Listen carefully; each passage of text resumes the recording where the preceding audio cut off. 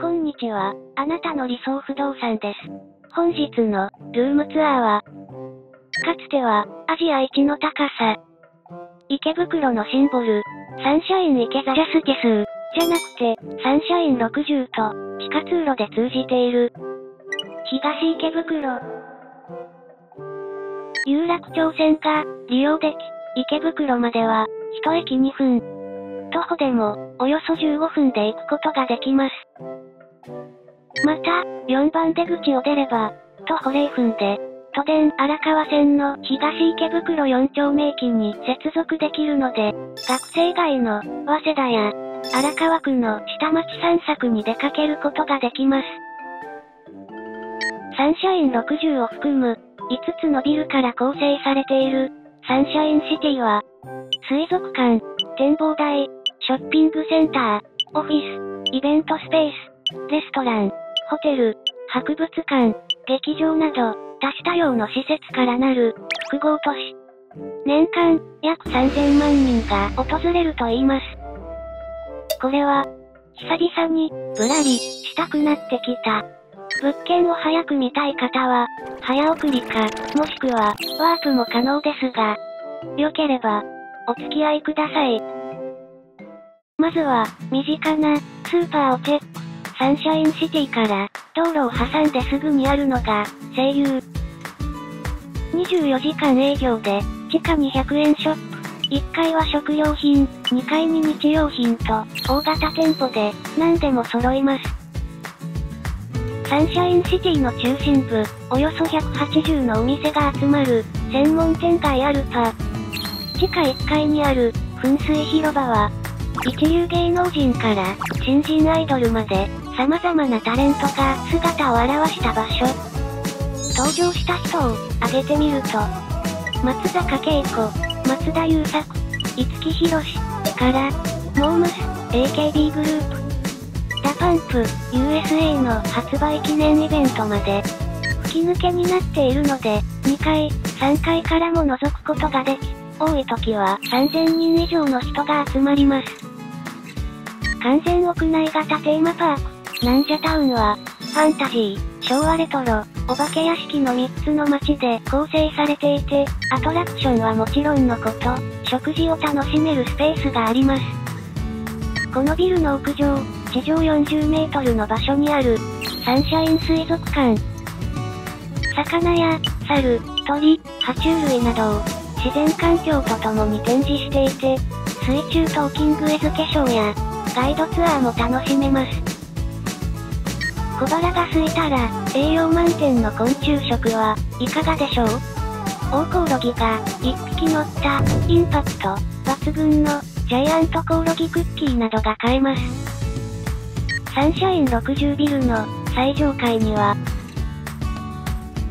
見るだけではなく、体験もできる展望台、スカイサーカス、天空で VR 体験をテーマに、ゴーグルを装着し、人間大砲型マシンで飛ばされたり、ブランコ型コースターに乗って、池袋の街を上空から疾走、本物の絶叫マシンさながらの体験が味わえたりします。それでは、お待たせしました。高さ251メートルの眺望をお楽しみください。目の前に広がるのは、大都市、東京。優雅な気持ちになりますねもちろん、夜には、ため息が出るほどの、景色が拝めます。魅力たっぷりの、東池袋周辺の、ぶらり旅を、お送りしました。ここで、もう一つ、嬉しいニュースを報告します。実は、先日公開した露天風呂付き物件ですが、動画公開後、数時間でお申し込みをいただき、ご契約までいただきました。非常に反響があり、これまでご契約させていただいたお部屋の中で最速でのご契約でした。その他にも、現在、あなたの理想不動産には、お引っ越しに関する様々なお問い合わせをいただいている状況でして、動画でご紹介させていただく物件の他にも、未公開物件をたくさん紹介し、ご契約いただいております。皆様も、こんな物件に住みたい、こんな条件がいいなど、公式 LINE からお気軽にご質問いただければ、我々が全身全霊でご希望のお部屋をお探しいたしますので、ぜひお問い合わせください。また、これからこのチャンネルでは、YouTuber の方々とのコラボ企画を実施していこうと考えております。住む人によって、お家に対する価値観は違うものです。YouTuber の方は、一体、どんなお家に住んでいるのか、あなたの理想不動産が、徹底解剖して、いこうと思っておりますので、ぜひ、チャンネル登録をして、お待ちいただけたらと思います。以上、あなたの理想不動産ニュースでした。それでは、物件に参りましょう。資料によると、今回の物件は、都心にある、チャンネル市場、最安値物件。東京の、三大副都心の一つ、池袋まで徒歩圏内、それでいて、激安だというんです。東池袋駅から、徒歩9分の、おすすめ物件が、こちら。木造一軒家の2階部分、利便性に特化した部屋。1階は、もともとはラーメン屋で、現在テナント募集中。右側の扉から、2階に上がることができ、3つある部屋、それぞれを貸し出しているんです。早速、見に行ってみましょうか。あなたの理想不動産。各部屋の入り口は、このようになっているんですね。家賃、相応の、期待を裏切らない扉。これは、中に入るのが、楽しみになってきました。いざ、突撃。たった今ー。これよこれ、この圧迫感、落ち着くー。こちらは、4畳半の、洋室。和室かと思ったら、フローリング。それでいて、ほぼ正方形になっていますね。